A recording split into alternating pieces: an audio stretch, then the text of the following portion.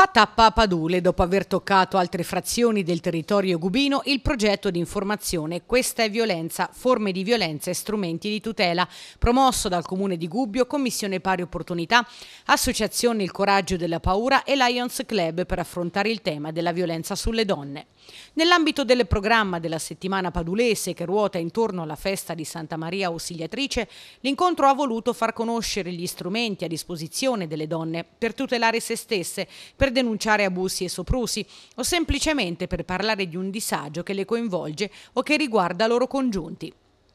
Presenti la vice sindaco Rita Cecchetti, la presidente della Commissione Pari Opportunità Rita Pagnozzi, l'avvocato Francesca Pieri per l'associazione Il Coraggio della Paura e Giorgio Mancini per il Lions Club. Il progetto itinerante, che prima della pausa estiva aveva fatto tappa a Casa Morcia, nasce dalla volontà di avvicinare quante più persone possibili e di raggiungere le periferie che potrebbero restare ai margini per poca conoscenza dei servizi a disposizione sul fronte antiviolenza. A Gubbio in particolare presso la sede dei servizi sociali in via Cavour è presente un punto d'ascolto aperto il martedì dalle 9.30 alle 12.30 e il giovedì dalle 15 alle 18 dove potersi rivolgere laddove se ne abbia la necessità. Il numero di telefono è lo 075 923 7513. Il punto di ascolto si rivolge non solo agli utenti di Gubbio, ma a tutte le donne vittime di violenza e maltrattamento residenti o domiciliate nella zona sociale 7. Le iniziative come quella di Padule rientrano nel mandato 2018 della Commissione Pari Opportunità,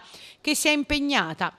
a pubblicizzare sul territorio l'apertura del punto di ascolto oltre che a realizzare iniziative da concertare con gli istituti scolastici finalizzate ad educare alla costruzione di una cultura della non violenza e all'analisi e al superamento degli stereotipi di genere.